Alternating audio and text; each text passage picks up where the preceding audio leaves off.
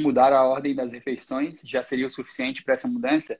Talvez, a gente teria que testar, mas acredito que não, porque provavelmente uma coisa que está importando bastante ali para essa pessoa é quantidade de calorias e distribuição dos macronutrientes. A distribuição que a gente diz é quanto de carboidrato, quanto de proteína e quanto de gordura.